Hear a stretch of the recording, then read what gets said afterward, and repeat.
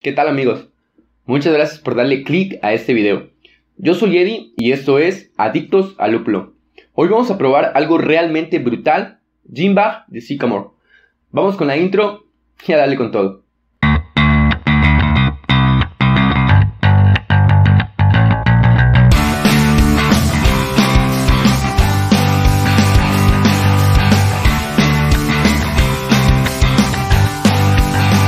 Ok, Sycamore es una cervecería fundada en 2013 en Charlotte, North Carolina, Estados Unidos, por la pareja de esposos Justin y Sarah Rickham.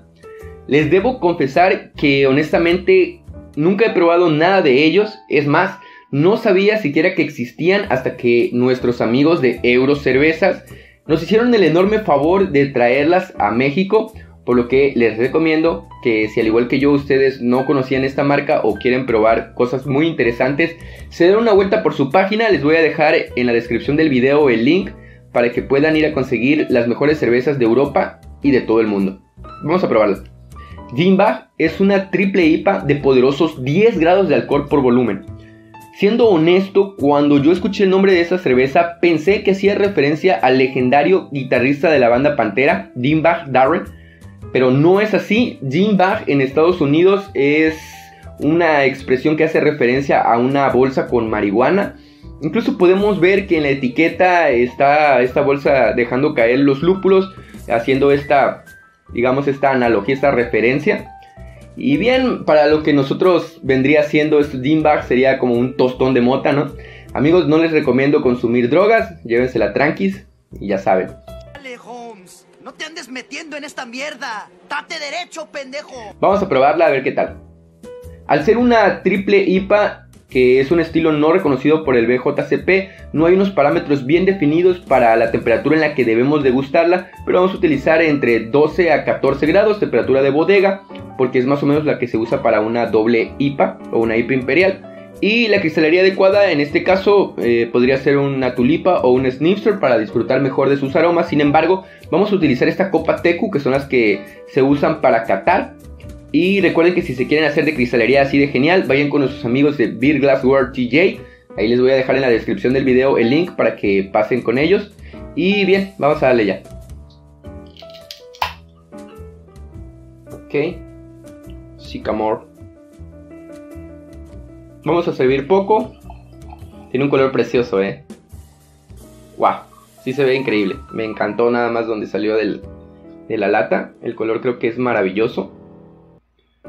Vamos a sentir sus aromas. Vamos a quitarle un poco. No es tan aromática, o sea, no inunda nuestros sentidos con, con sus aromas. Pero fácilmente reconocibles estos, estos lúpulos de perfiles cítricos. Muy a piña, a maracuyá, cáscara de naranja. Cabe recalcar que están atenuados por una ligera sensación alcohólica.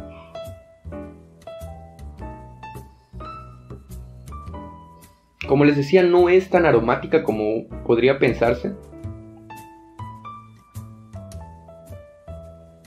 Se siente una...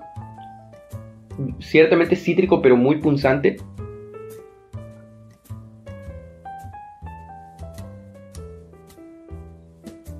Wow, es una nota deliciosa, muy, muy, muy, muy...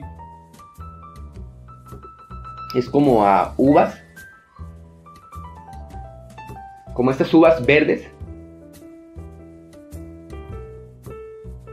wow, este, este perfume es increíble, ¿eh?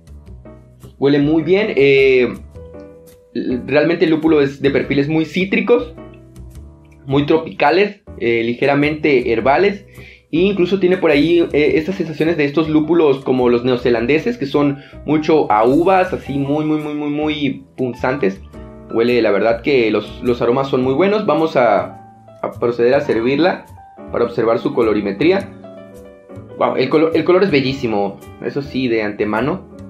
El color es de un amarillo brillante, con destellos dorados, eh, ligeramente turbios. Se puede observar bastante sedimento que está descendiendo. Está por ahí. Y la carbonatación es poca, muy poquitas burbujas ascienden y forman un giste, como se podrán dar cuenta, algo pobre. La burbuja es blanca, extremadamente compacta, muy pequeña, algunas están eh, reventando. Eh, sinceramente, pues por ahí nos hace falta giste, ¿no? Esta, esta, vida que le daría el giste. Eh, la retención de la corona de espuma es, es buena, aunque solo hizo un, muy poca, pero se ha quedado ahí. La adherencia a la pared del vaso es buena también. Tiene un aspecto, no sé, se ve interesante, pero estaría esperando otra cosa, algo más vivo. Es una cerveza que tiene, que muestra bastante sedimento por ahí. Vamos a probarla, a ver qué tal, amigos. Salud. A ver qué tal.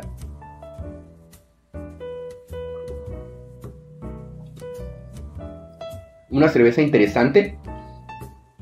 Eh, se siente poco la carbonatación en la lengua. El cuerpo es medio. Rápidamente podemos... Es que los protagonistas son los sabores amargos, sinceramente pero no es invasiva, no es demasiado golpeadora. Podemos sentir una ligera sensación agridulce al principio. Probablemente sea este, estas maltas que utilizaron. Eh, ciertamente son un poco mielosas. Eh, como a esto, como por, ejemplo al pan brioche o a los, no sé, a los, a los biscuits recién horneados, un poco mielosos. Y después nos ataca por ahí un poco el lúpulo. las sensaciones son, ciertamente son resinosas, son eh, cítricas. No es demasiado agresiva. Siento mucho por ahí unos sabores como a unos contrastes entre durazno, eh, naranja, em, podría ser esta, esta fruta que no, no, no, no, incluso no maracuyá, sino carambola. Me gusta. Tiene un retrogusto ligera, es ligero, no es tan fuerte el retrogusto, no es amargo, no, te queda en la boca inundada de un amargor profundo, seco, no. Eh, queda la boca con un poco de amargor y algo, un contraste cítrico y ciertamente se puede percibir una cantidad notable de alcohol.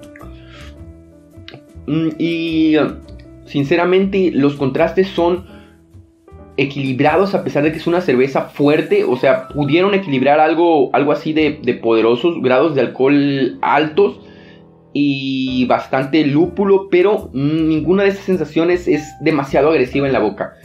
Me, gusta, creo que la cerveza crea una experiencia deliciosa entre lo amargo, lo cítrico, lo fresco y bastante alcohol. Me parece una propuesta interesante. Salud.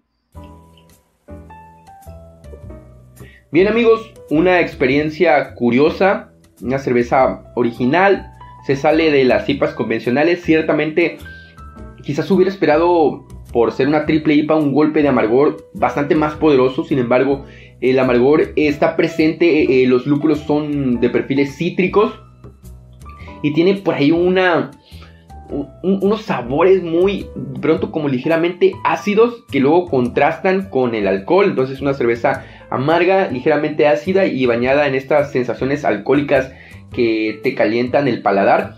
Muy ricas. Eh, respecto a si la recomendaría, eh, tiene un costo aproximado de 146 pesos, creo que me costó.